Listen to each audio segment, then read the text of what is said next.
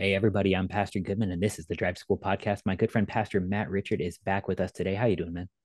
Good. It's good to see you, Harrison. You too. Uh, as we record this, uh, it is Ash Wednesday. You won't hear this until a few days later, but it's Lent now. So um, I, I guess there's some Lenten themes we could probably talk about, huh?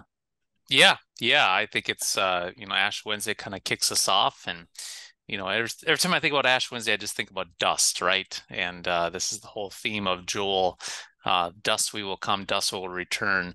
Uh, that we're dusty people that uh, communicates our mortality, if you will. Yeah, mm-hmm. and it's uh, definitely a sorrow for sin. You know, sorrow for uh, the condition that we are um, being poisoned by by this uh, original sin. Yeah, because we, we don't just take this the way the world does, that everything breaks sooner or later, that entropy is a thing. Uh, but we, we can actually look and see the cause of it. Uh, it. It's not just that everything that, that we have in this world is going to fall apart and even we are going to die, but it's that we did that. Uh, if, if we go all the way back, the, the commandments that God gives us, they point to why this is happening and it's my fault. Yeah. Yeah. I mean, it's, it's, the, confessions talk about this a lot. The, the, the our Lutheran confessions they talk about this that uh, you know we need the holy word of God to to reveal us. I mean, so we, we we get it that things break in this world. You know, we get it that things fall apart. Um, we even if we're really honest with ourselves, we get it that that there's part of us uh, that just does not want to do righteousness, does not want to do good things, and often wants to do the very opposite of what we hope to do. And uh, you know, there's great courage uh, in actually uh, calling it what it is and admitting what it is. And the confessions talk about how the Holy Scripture has to really re- reveal that to us. And so it's not like it's earth shattering news to us that we have this sinful nature, that uh, we have this struggle with uh, sin, that we live in a world of uh, what we call the vale of tears, a, a world that is clothed in tears and sorrow and so forth. It's no surprise, but yet at the same time, there's part of us that's actively denying that, trying to pretend like it's almost like it's almost like covering your eyes, pretend like it doesn't exist. And yet we read the scriptures and we hear all the way back to the very beginning, man, that that uh, things were really messed up in Genesis three, and we see throughout all the Old Testament, we see all the failings of humanity all the way through. Right. And so when we talk then about sorrow, uh, it, it's it's easy to sort of leave it there that Lent just wants us to be sad. Um, but it's not just sad so much as honesty that, that we're driving towards right now, right? Because like you said, there's this part that wants to deny that it's real and deny that it's my fault. And so we're gonna have to look at that. Yeah, you know, I, I think I, I think sometimes us Lutherans and uh, can get really get the uh, bad rap from, you know, other people that you know Lent is just it's just this dreary time where you got to hang your head low and uh, you know just be be sad, right? You know, just sad all the time. Um, I would say that there's a difference between being sad, right, and being realistic, like you mentioned there, realistic about who we are. Um, I, I, Paul Paul says it this way, and, I, and I, have been really gripped by this lately. Uh, the Apostle Paul in the New Testament, he always talks about being sober, right, being hmm. alert, mm. being in the moment. And if you think about this, not not necessarily, you know, physically sober. He's not necessarily talking about being don't be drunk, even though we say we don't want to be drunk. Uh, but he's saying to be sober in the moment. That means to be awake, not to be uh, not to be numbed by the things of this world. And there's this daily grind that we live in that we just kind of go day in and day out and we have our routines and so forth that we can kind of become numb to the reality of sin itself numb to the reality that we're mortal beings that we're going to die someday. In fact then what happens is we end up going to a funeral uh, a loved one passes away we go to a funeral and then we walk into that church we see the casket and then guess what happens? Boom it hits us and it knocks us out of our, our drunken stupor of of of, of uh, numbness of this life, and it sobers us up to the reality that we're mortal beings. And I think I think that's the reason why people many times they really struggle and they hate funerals is because it it hits a core, it hits the very core of who we are, that we're mortal beings, and that's what that's what Lent is is to to to remind us um, that we came from dust will return to dust, and that uh, that we are sinners in thought, word, and deed, and that uh, we will not live forever. That there is a consequence to sin in this world. Um, that uh, we are fallen, that we do fall short of the Ten Commandments. It's a sobering moment. I would say that Lent, more than anything else, is a time for us to sober up. But why? That's the question. Why? Why? Why are we to be sober during this season of Lent? Why are we to contemplate our mortality? Why are we to contemplate all of this sin? And the, the answer is Easter's around the corner. You know, Easter's right around the corner. It has to be. And that's one of those confrontations that, that we sort of have out there that numb feels pretty good.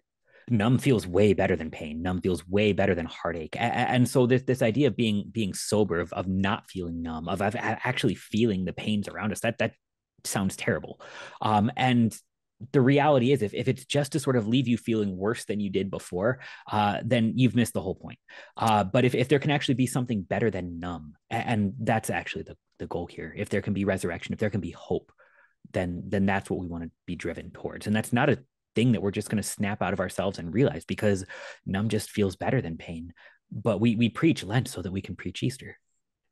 Yeah you know i, I just i actually um, I really, really enjoy the seasonal Lent, and because of the anticipation of Easter. But I do know, like, uh, at St. Paul's, you know, we have tonight, uh, we have a fish fry, which is going to be awesome. I, I, love our mm-hmm. fish fry. We have some good cooks. The guys are going to be cooking fish tonight. So we get to eat some good walleye and so forth. So good fish fry tonight. But then we enter into Ash Wednesday service and, and it's, it's a sobering punch in the gut. And then the next several weeks, we're going to be focusing on the Psalms and suffering in the Psalms and so forth.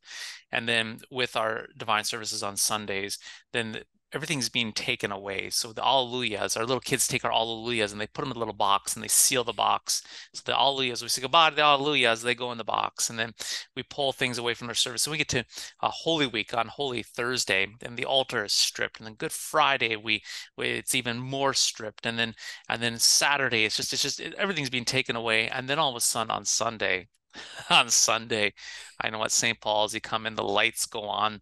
We have trumpets in the balcony, they play it. The organ volume is cranked up, and, and not not that we're all into dramatics, but the reason why we're doing that is because we get to hear the go- the gospel that He is risen. He's risen indeed. Hallelujah. Hallelujah. And so that's our hope. The, so everything that we cover through the season of Lent is answered in that cross and that resurrection. Uh, mm-hmm. it is all addressed there. And so this, the big solution to Lent is going to be that uh, big, big, bold proclamation the tomb is empty in Easter.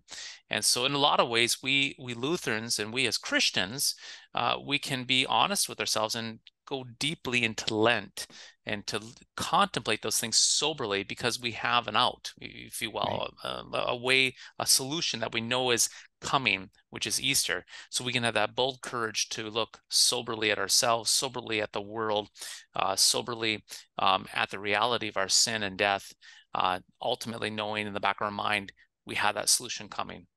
Amen. So uh, when we when we confront sorrow this season, uh, it, it's not simply to to recognize that we ought to feel bad about ourselves and the things we've done, but it's to recognize that there's more.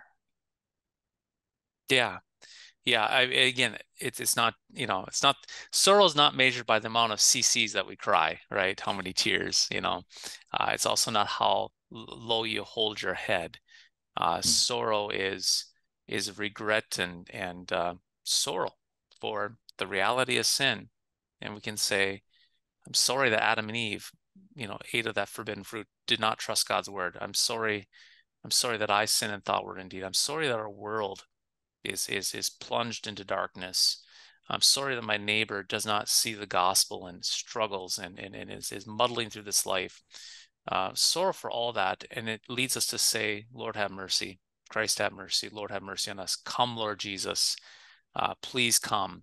Uh, deliver the gospel to us. Give us comfort in the midst of our grief, comfort in the midst of our sorrow, assurance in the midst of our sorrow, uh, knowing that this vale of tears is only a moment and then in twinkling of an eye, we will be resurrected unto life everlasting, where this will all be what? The past. Amen. Pastor, thanks so much for being here. Good to see you, Harrison. Take care, my friend. Blessed Lent. You too.